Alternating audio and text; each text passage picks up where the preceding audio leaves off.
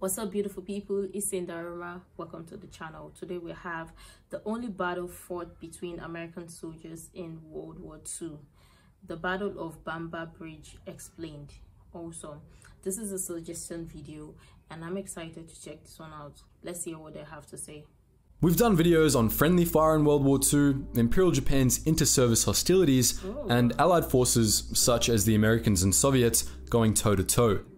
But did you know that two American units fought and shot each other over in northwest England in June 1943? Wow. This is the story of the so-called Battle of Bamber Bridge, a skirmish fueled by beer and no small amount of racism.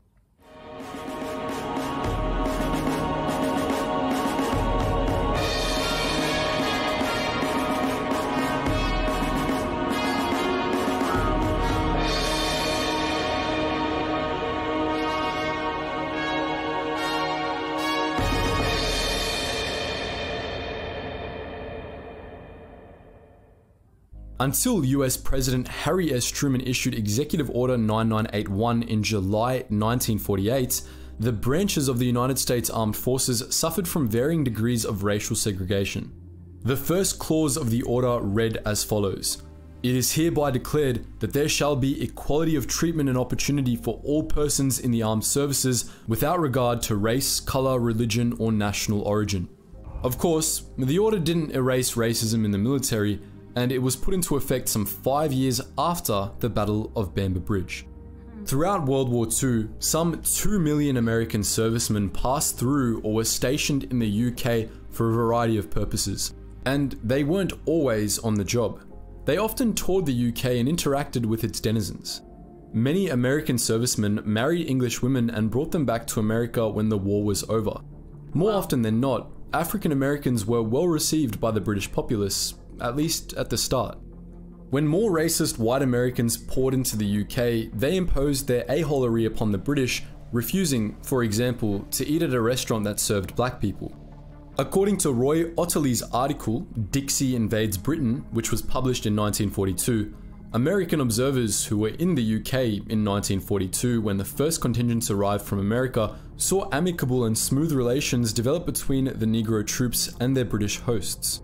So much so that certain white American soldiers became openly resentful, and they lost no time in attempting to discipline the British people. According to an article by historian Joseph Dickinson, the resent was due, at least in part, to the frustration of white American soldiers who saw how open British women were to relationships with black Americans and simply couldn't handle it without chucking a massive tantrum. In the words of author Graham Smith, many young girls found the blacks fascinating, appreciating their attentiveness and good manners. The United States Army Air Forces, or USAAF, the precursor to the US Air Force, operated out of more than 200 airfields in the UK, each base housing an average of 2,500 men. Among the American units which flew out of the UK was the 8th Army Air Force, and one of the 8th supporting units was the 1511th Quartermaster Truck Regiment, a racially segregated unit composed of African American soldiers.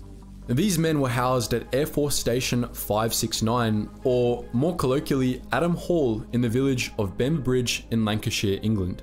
Hmm. Their job was to deliver, via trucks, war material to other air bases in the area.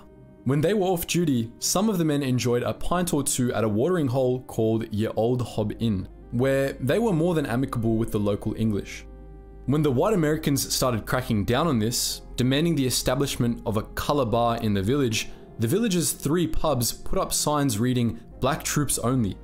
Racism, it seemed, would not be tolerated in Bamber Bridge. Unfortunately, the 234th US Military Police Company, which operated on the north side of the village, were especially sore about the attentive, well-mannered African American men winning the hearts of Bamber Bridge's women. The MPs had standing orders to arrest American soldiers who were out without a pass, who weren't dressed properly, or who were acting disorderly. On the 24th of June 1943, just days after the race riot back in Detroit, Michigan, they tried to use their power to give the black soldiers of the 1511th a hard time. The consequences were disastrous. While the specifics might vary between sources, the core of the story remains the same. Possibly because an African American soldier tried to purchase a beer after last orders had been called. MPs Roy A. Windsor and Ralph F. Ridgway entered Ye Old Hob Inn on the night of the 24th and tried to cite one private Eugene Nunn for being without a pass and for wearing the wrong uniform. An Wow. argument broke out, and the locals, as well as British servicewomen of the Auxiliary Territorial Service, sided with Nunn and the 1511th. An unnamed white British soldier also chimed in, saying, Why do you want to arrest them? They're not doing anything or bothering anybody. The heat increased, and one private, Lynn M. Adams of the 1511th, brandished a bottle. In retaliation, Windsor drew his gun. It might have gone down then and there had not a black sergeant by the name of William Byrd managed to defuse the situation. Hmm. The MPs got into their jeep and were on their way out, but Private Adams was mad and probably a little drunk and decided it would be a good idea to throw his bottle at the jeep. The MPs were outnumbered and chose not to retaliate at that moment. Instead, they gathered some reinforcements and ambushed the men of the 1511th as they were walking back to Adam Hall later that night. Wow. A fight ensued on the road, possibly with the MPs wielding billy clubs. The 1511th fought back with bottles and loose cobblestones. Supposedly to stop Private Adams from hurling a stone at him, MP Carson W. Bosman drew his gun and fired. The bullet struck the private in the neck, but he wasn't killed. The fight soon subsided, and the men of the 1511th made it back to Adam Hall mostly in one piece. At some point during the chaos, a rumor spread throughout the village. A black soldier had been shot in the back, and the MPs were out on a manhunt. There seems to be a little confusion about what happened next, but the resounding narrative is that a pissed off crowd of some 200 black men rallied at Adam Hall, standing against their white senior officers and calling for war. It's possible they would have stormed the village en masse, but the 1511th's only black officer, Lieutenant Edwin D. Jones, was able to calm them down for the time being. It wasn't long after that, however, that about a dozen MPs drove into Adam Hall in several jeeps and an improvised armored car fitted with a machine gun. This prompted the 1511th to seize about two thirds of the firearms stored at Adams Hall and either take up defensive positions or drive or run out into the night to meet the MPs head on. The locals were instructed to stay inside, and over the next three to four hours, a firefight raged throughout the Bamber Bridge area. A private of the 1511th, one William Crossland, took a bullet and died, while four or five other soldiers and two MPs were injured. It could have been much, much worse, all things considered. Following this mess, two trials were conducted. In the first, four of the African American men involved in the fight in which Private Adams was shot were found guilty of various offenses, dishonorably discharged, and sentenced to hard labor. In the second trial, 28 of the 35 defenders were convicted of offenses such as ignoring orders, failing to disperse, rioting, mutiny, seizing arms, and firing on officers and MPs. They were sentenced to as many as 15 years, but further reviews saw a reduction in these sentences and the release of some of the men. 15 of them returned to duty in June 1944, just in time for the Normandy landings. All in all, the longest period served by any of the men was just 13 months. Again, things could have been much worse. The commander of the 8th Army Air Force, General Ira C. Eaker, believed much of the blame fell on the MPs, whose blatant racism inspired the entire affair. The white officers of the 1511th were also largely to blame, as they did a terrible job of trying to pacify the rioting men at Adam Hall and also refused to tend to the wounded among them.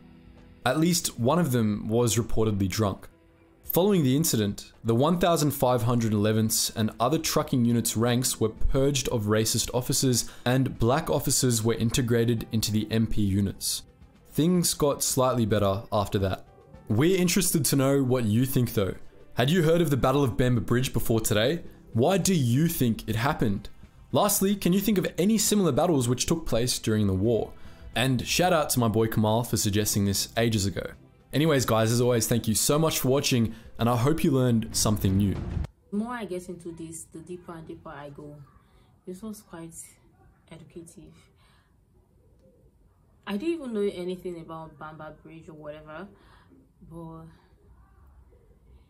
this fight I feel like it's um quest for power, test for power, just um dominating. Um, but yeah, them dominating. But at the same time, I felt like they they still saw the um black soldiers as um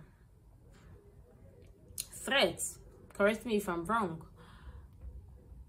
But all the same this was quite educative to learn about. I mean i don't want to go into anything talking about race talking about what color you have on your skin. But i love that i got to check this one out because i never knew about this. I never knew this occurred. But getting to learn this this just makes it all exciting and interesting to go check more again but yeah i hope you enjoyed this one as much as i did. Comment in the comment section down below what you think about the video what your thoughts are and other informations that are necessary or that um, you think would would be really informative in the comment down below as well. And until next time see you in my next video